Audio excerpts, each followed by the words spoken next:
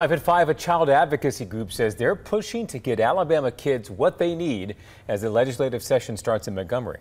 Leaders with Children First tell us they're asking for funding to combat vaping and to help children in foster care. Bria Chapman is live at 5 after talking with the organization about their priorities.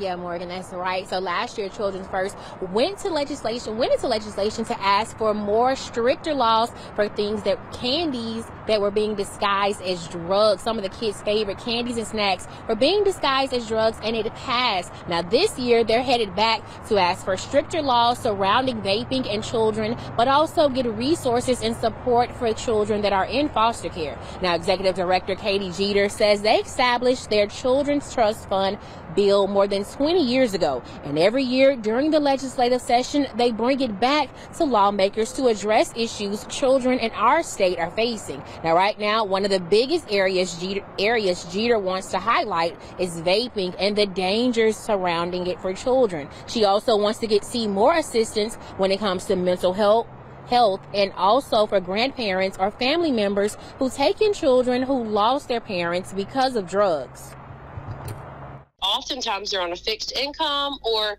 they might be on Medicare, and it's really, really expensive. I mean, as we know, to raise children. We think that opioid funds should support grandparents um, who are raising their grandchildren and other maybe next of kin who are raising children that might not be blood related to them because if, if you didn't know if a grandparent takes in a, a grandchild they receive nothing from the state to help care for that child and along providing for those issues. They also say that their goal is to make sure lawmakers understand laws when they present them about children. They're there to help them tweak it to make sure all children in our, in our area, in our state, have what they need in order to become successful adults. Reporting live in Hoover, I'm Bria Chapman, WBRC, Fox 6 News on your side. Bria